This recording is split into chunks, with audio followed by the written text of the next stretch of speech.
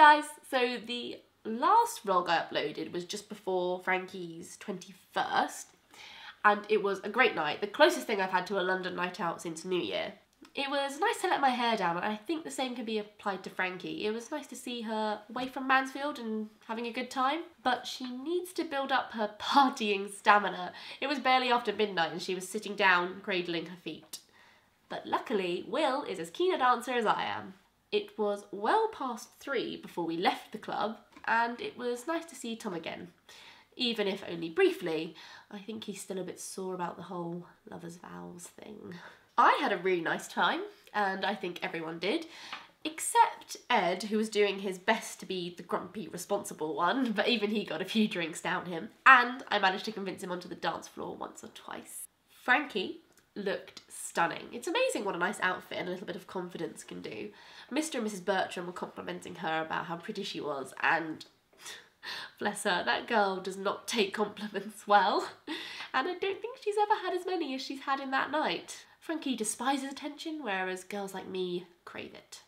I was a little naughty and sent Henry some pictures of Frankie to show him that she was wearing his earrings. He's a bit like a lovesick puppy at the moment. I can't decide if it's cute or pathetic. And I know it was a bit untruthful of me to give Frankie the earrings, but Henry was spot on. She would never have taken them if she knew they were from him. She's too stubborn and too proud. Plus, the present I got her was nowhere near as good. It's got a little quiet now that the party's over. Will's leaving soon. He's going to Portsmouth for a week and then, well, to sea, I suppose. So him and Frankie are spending a bit of time together today. It's quite bittersweet actually, and I hope we'll be seeing more of Will in the future. Mary Crawford, Crawford Designs. Oh, that's excellent news, Steve. Uh, no, I'll ask Grant Crawford to contact you about it. Great. Yes, I'll see you at the Mansfield Park launch. Perfect. I'll see you then. Hey, sorry, I didn't want to interrupt whilst you're on the phone. Oh, how long have you been standing there? Oh, not long. Just wanted to pop up and say hello. Well, that's great. I need a break and a chat, so take a seat.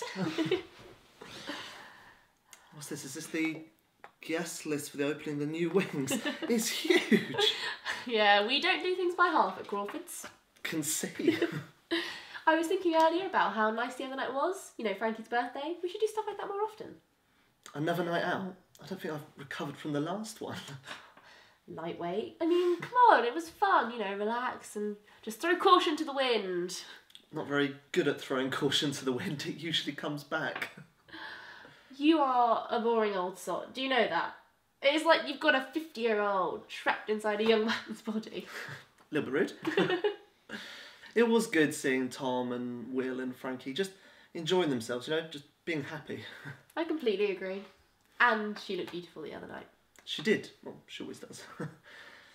I do worry that she doesn't realise how highly people think of her here. I mean, if she wasn't here, we'd lose the plot. you, Edmund Bertram, are an incredibly sweet man, and I honestly don't know why you're with me. well, I don't know why you're with me. I mean, I don't think I'd have had the guts at school to talk to someone as beautiful as you. and yet, here we are. Here we are.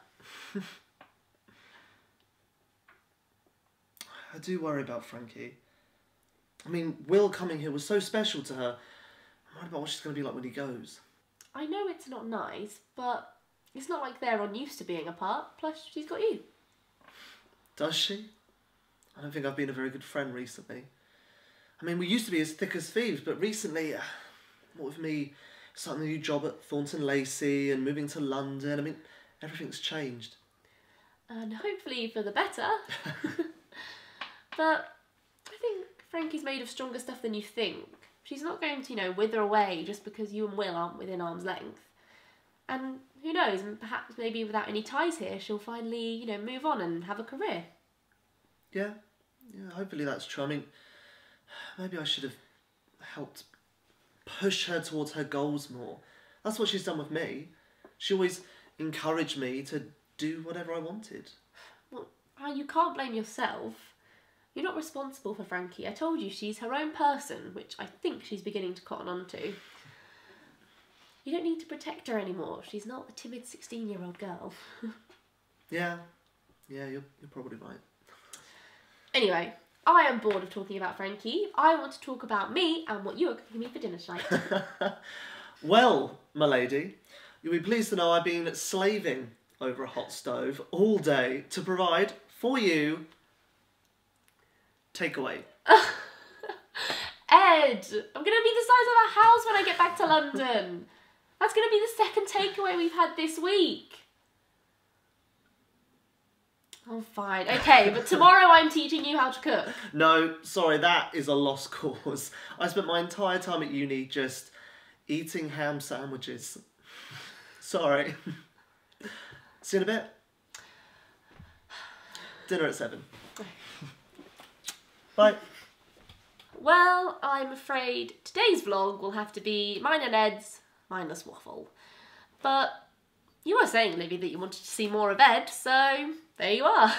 see you soon.